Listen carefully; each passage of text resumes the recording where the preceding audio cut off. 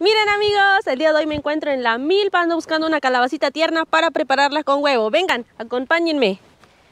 Miren amigos, ya encontré la calabacita que me voy a llevar. Está bien tiernita, así que voy a cortarla con mucho cuidado. Miren amigos, de este lado ya tengo la calabacita. Ahora sí, vámonos al jacalito a lavarla y a prepararla. Miren amigos, ya quedó la calabaza bien picadita en cuadritos pequeñitos. Ahora voy a picar la cebolla, los chiles serranos y el diente de ajo. Miren, así es como quedó.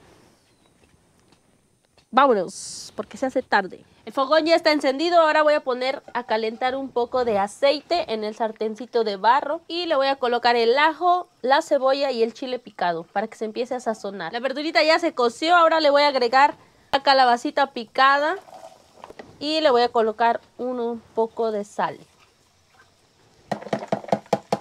Ahora lo voy a mezclar bien para que se integre con la cebolla, el chile y los ajos.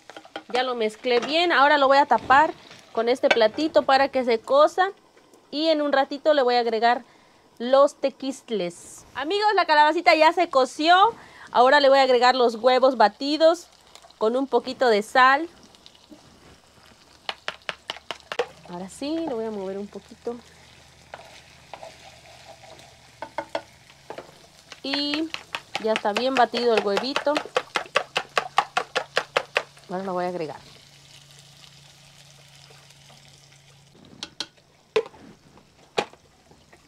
Y lo voy a mezclar muy bien con la calabacita. Ahora voy a esperar a que se cosa y ya está listo. Amigos, la calabaza con huevo ya está lista. Ahora sí, ya lo voy a bajar.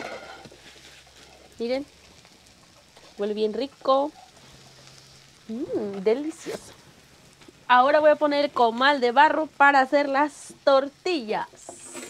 Están saliendo las primeras tortillas, así que voy a empezar a hacerme unos taquitos con este delicioso preparado. Y por si no llegara a picar, aquí estoy asando un chile, miren, para comerlo de a mordidas. Ay, está bien calientito. Y también voy a empezar a entibiar el tecito de zacate limón. Miren cómo se esponjan las tortillas. Sí, se me esponjan, amigos. No vayan a decir que no. Miren.